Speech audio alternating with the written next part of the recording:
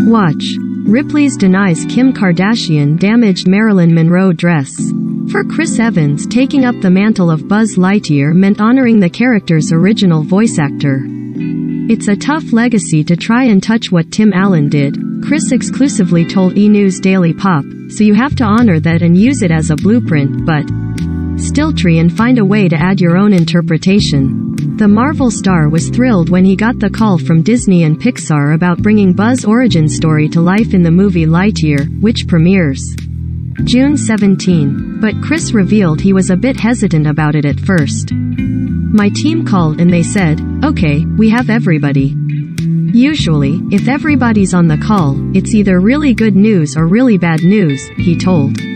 Daily Pop. They said, so, Pixar has a movie. They wanna pitch it. All they told us was Buzz Lightyear. I said, Tim Allen's Buzz Lightyear, but okay.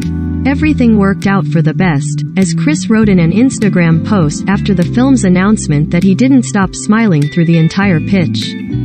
Buzz Lightyear is another iconic hero Chris has added to his long list of roles, including Captain America, who he played for almost 10 years in the Marvel Cinematic Universe. But sometimes, the 41 year old enjoys taking a walk on the dark side. Villain's a lot more fun, said Chris, who is set to be the antagonist in the upcoming Netflix movie The Gray Man. Journeying to Infinity and Beyond with Chris in Lightyear is co-star Keke Palmer, who plays Izzy, the granddaughter of Uzo Aduba's Alicia Hawthorne. Recording her, Liness in a booth, Keke didn't meet much of the film's cast in person until its premiere.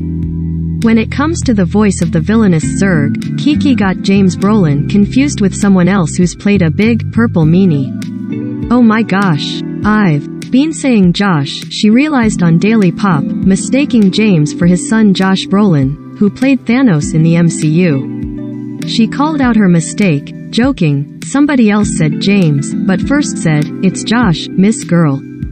Check out the full interview above. Lightyear premieres in theaters June 17th.